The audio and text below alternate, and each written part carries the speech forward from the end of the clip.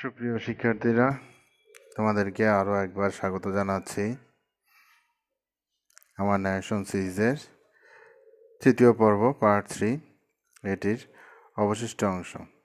তাই আজকে আমাদের ক্লাসের নাম narration series part three continued.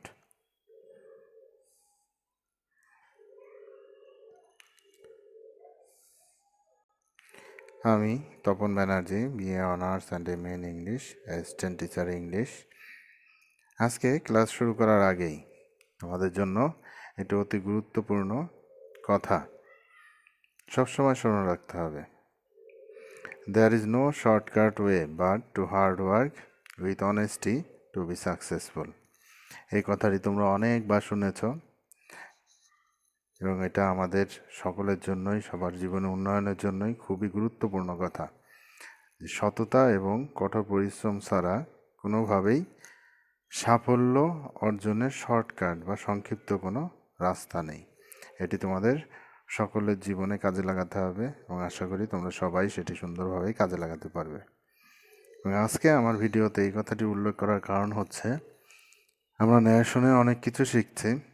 এবং মনে হচ্ছে যে আমাদের এটি অনেকটাই শেখাটা দীর্ঘায়িত হচ্ছে। তাই ধৈর্য না হারিয়ে শিখতে থাকতে হবে। তাহলে সম্পূর্ণ শেখার মাধ্যমে আমাদের সম্পূর্ণ সাফল্য আসবে। তাছাড়া সম্পূর্ণ সাফল্য আমরা পাবো না। তাহলে আসো, আমরা আজকে আমাদের ক্লাসটি শুরু করি। গত ক্লাসে আমরা পার্ট থ্রির বেসিক আলোচনা, rule number one, two, three করেছিলাম এবং আজকে আমাদের কনফিউশনগুলো এই কনফিউশন শব্দটি একটি কনফিউজড আমরা যেমন জানি বাসা বাড়িতে আমাদের যখন এই কারেন্টের ফিউজ চলে যায় ফিউজ কেটে গেলে আমরা কনফিউজড হয়ে যাই এবং সব চারিদিকে অন্ধকার ছেয়ে যায়। ঠিক আমাদের যে কোনো টপিকে যেসব কনফিউশন আছে, সেগুলো যদি আমাদের মধ্যে থেকে যায়, তাহলে আমরা ঠিক অন্ধকার রাস্তায় হাঁটার মতো পরিস্থিতির মধ্যে চলে আসি।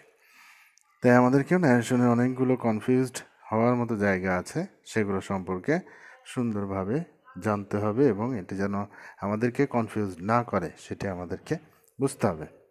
তাহলে আমরা দেখে নিই, আজকে আমরা কনফিউশনের কী অংশ দেখতে পাচ্ছি confusion of using WH word or if using that or to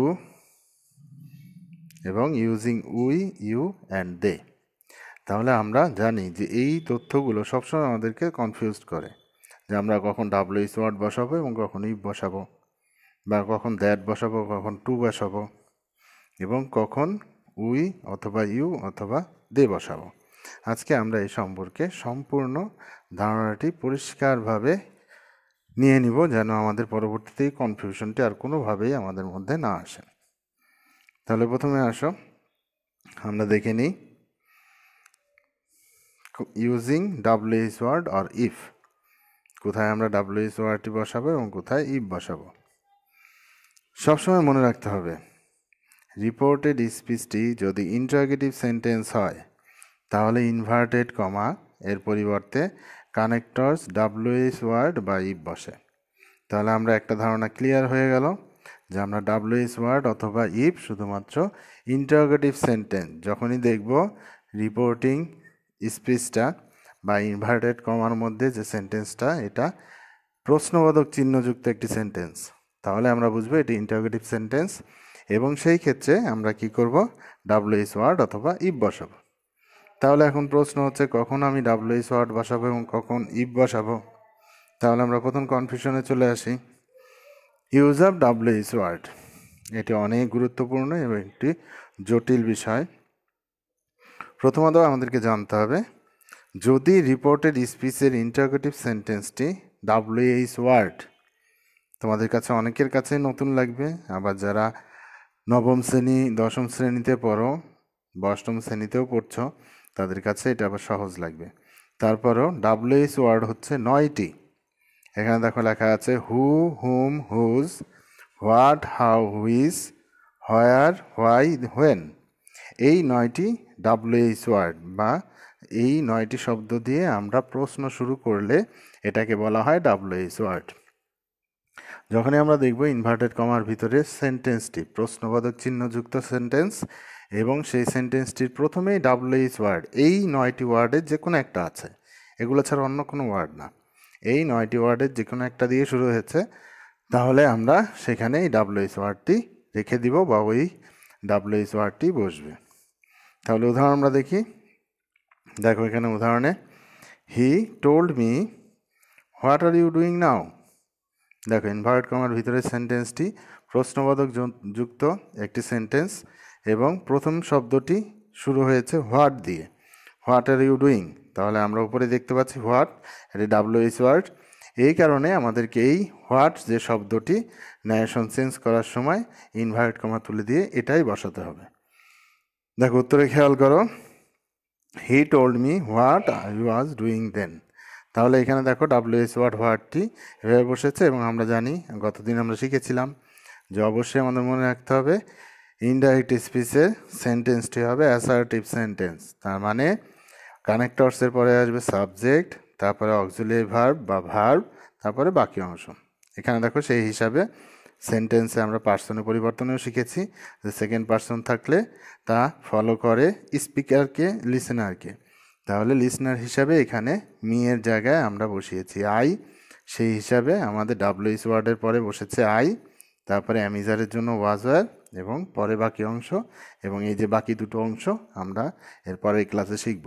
যে চার নাম্বার ভার্বের পরিবর্তন এবং পাঁচ নাম্বার নিকটবর্তী শব্দের পরিবর্তন। তাহলে এখন আশা করি তোমাদের কাছে ক্লিয়ার হয়েছে যে কখন আমি ডাব্লিউএস ওয়ার্ড বসাবো। তাহলে এখন বাকি থাকল কোনটি? ইফ কখন বসাবো আমরা? ইউজ অফ ইফ ঠিক একইভাবে আমরা জানি যে ইন্টারগ্রেটিভ সেন্টেন্স হলে আমাদের ইফ বসাতে হয়। তাহলে কখন বসাবো? যদি আমরা দেখি এই ইন্টারগ্রেটিভ সেন্টেন্সটি অক্সুলারি ভার্ব এই অক্সুলারি ভার্ব চারটি প্রকার ভেদ আছে।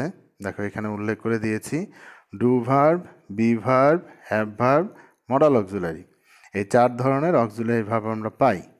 এ সম্পর্কে আমরা পরবর্তী যখন রাইট ফর্ম ভার্বে ক্লাস করব, তখন এটা সম্বন্ধে আরও পরিষ্কার ধারণা নিব। আপাতত আমাদেরকে এটি চিনে রাখতে হবে। এবার তুমি যদি মনে করো যে আমার এগুলো মনে থাকে না, তাহলে কি করতে পারি? এগুলো দিয়ে যে শুধু অথবা যদি ডাব্লিউএইচ ওয়ার্ড দিয়ে শুরু না হয়, তাহলে এখন অবশ্যই এটি অনেক সহজ হয়ে গেল। কারণ ডাব্লিউএইচ ওয়ার্ড মাত্র নয়টি যেটা আমরা ইতিমধ্যে শিখে ফেলেছি। যদি আমরা দেখি ডাব্লিউএইচ ওয়ার্ড দিয়ে শুরু হয়নি, কিন্তু সেন্টেন্সটা শেষে প্রশ্নবোধক চিহ্ন আছে, তাহলে আমরা কি করব? এখানে ইনভার্ট কমা তুলে দিয়ে ইফ বসাবো। তাহলে একটা উদাহরণ দেখি নিই। আই টোল্ড হিম ইনভার্ট কমার প্রথমেই দেখো শুরু হয়েছে হ্যাভ দিয়ে। Have you watched all the classes on narration series তাহলে এখানে দেখো ইনভার্টেড কমার পরেই কিন্তু আছে একটি অক্সুলারি ভার্ব বা আমরা যদি সহজে বলি ডাব্লিউএইচ ওয়ার্ডের যে নয়টি ছিল তার মধ্যে কোনোটি এখানে নেই। তাহলে আমরা দেখলাম এখানে শুরু হয়েছে হ্যাভ মানে অক্সুলারি ভার্ব দিয়ে। তাহলে আমরা কি করব? এখানে দেখো ইনভার্ট কমা তুলে দিয়ে ই বসানো হয়েছে। তাহলে উত্তরটা কি হচ্ছে?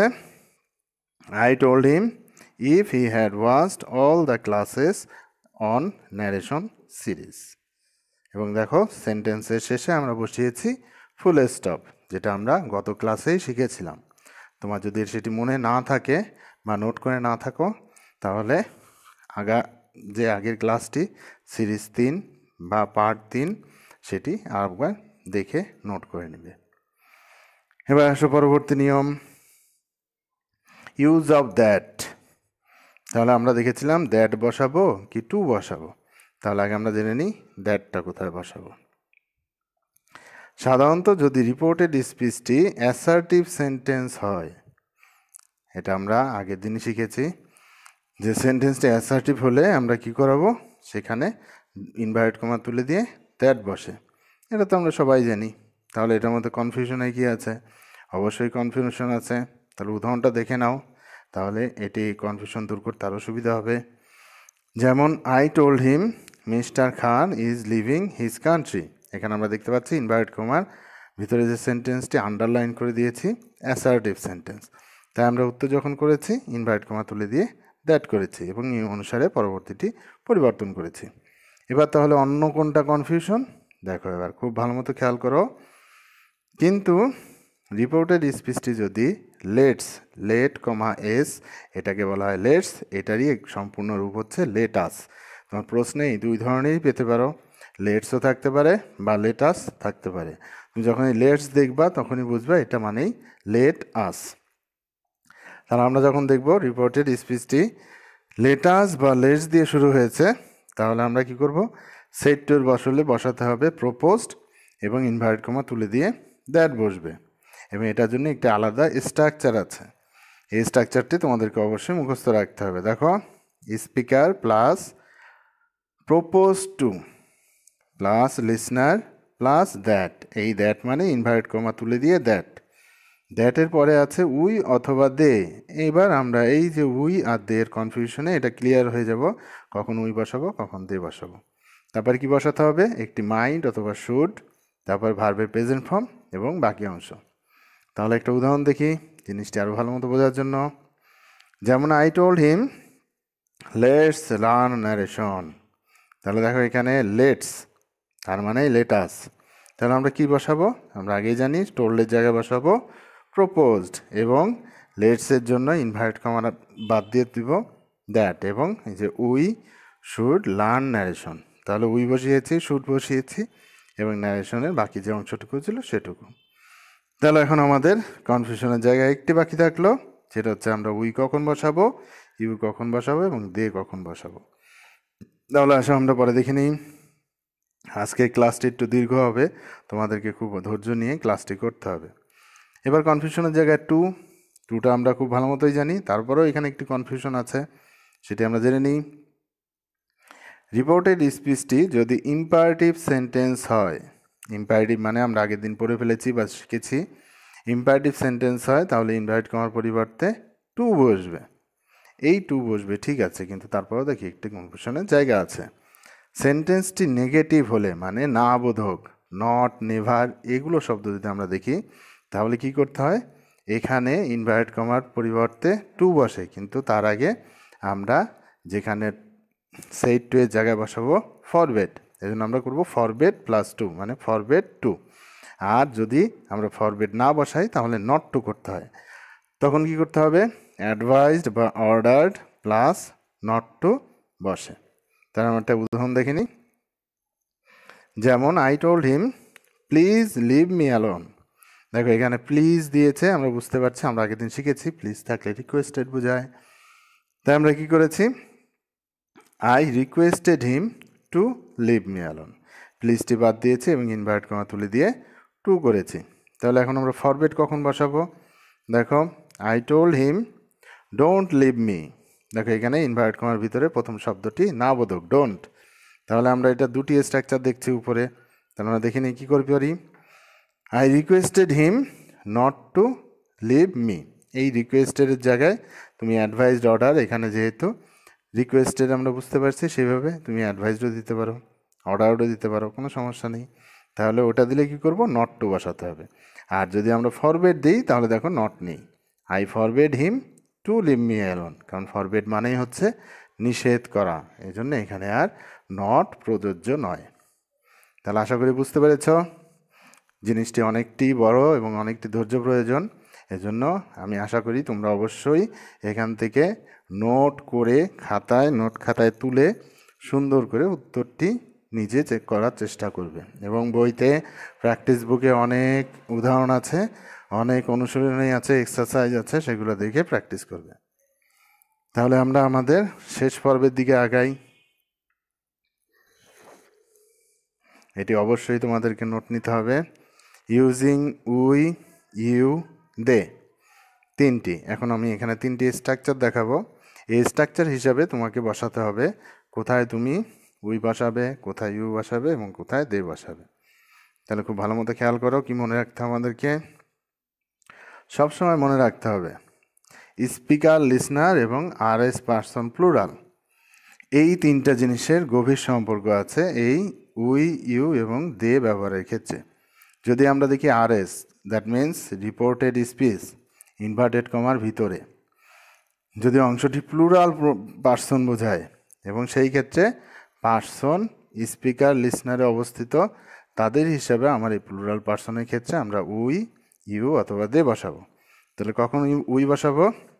যদি দেখি স্পিকার বা লিসনার যে কোনো একজন ফার্স্ট পারসন আছেই, বা স্পিকারের জায়গায় ফার্স্ট আছে, বাকি জায়গায় থার্ড আছে কিংবা সেকেন্ড আছে কিংবা লিসনার ফার্স্ট আছে, স্পিকার ফার্স্ট আছে, যেটাই থাকুক, তোমাকে সুন্দর করে এটা বুঝে নিতে হবে। ফার্স্ট পারসন প্লাস ফার্স্ট অথবা সেকেন্ড অথবা থার্ড পারসন থাকলে আমরা ইনভার্ট কমার ভিতরে উই বসাবো বা উই থেকে যাবে। ঠিক যদি দেখি সেকেন্ড পারসন এবং আর একজন আছে সেকেন্ড পারসন অথবা থার্ড পারসন তার মানে স্পিকার লিসেনারে দুইজন যদি সেকেন্ড পারসন বা থার্ড পারসন হয়, তাহলে একজন সেকেন্ড পারসন থাকলেই সেখানে আমরা উই বসাবো। এবং যদি দেখি দুইজনই থার্ড পারসন তাহলে সেখানে দে বসাবো।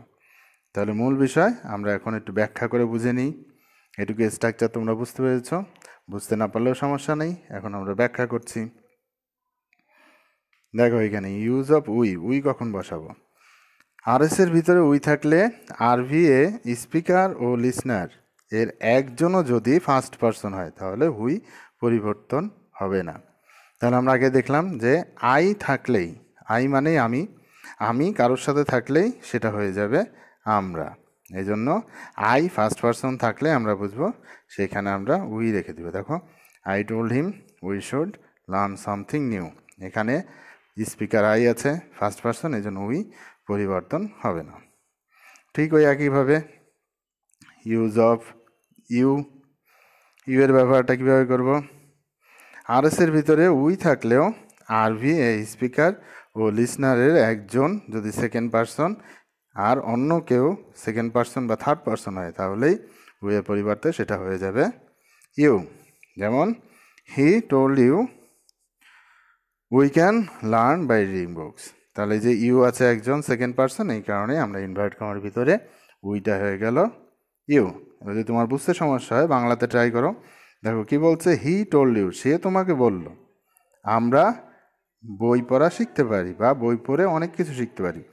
তাহলে সে এবং তুমি, এটা দিয়ে আমরা বাংলাতে কি বলি? তোমরা।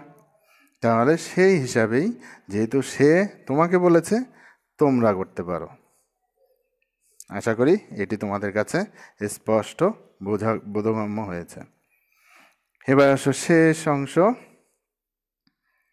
যে আমরা দে কখন বসাবো। যখনই দেখব আর এস এর ভিতরে উই আছে, কিন্তু দুইজনই থার্ড পারসন স্পিকার এবং লিসনার দুইজনই থার্ড পারসন তাহলে আমরা সেখানে উইয়ের পরিবর্তে দে করে ফেলব। যেমন he told her we can learn by reading books তাহলে এখানে দেখছি হি এবং হার দুইজনই থার্ড পারসন লিসনার এবং স্পিকার তাহলে উই পরিবর্তন হয়ে হয়ে যাবে দে তাহলে he told her that they could learn by reading books তাহলে আশা করি সম্পূর্ণ কনফিউশনগুলো থেকে তুমি এখন মুক্ত।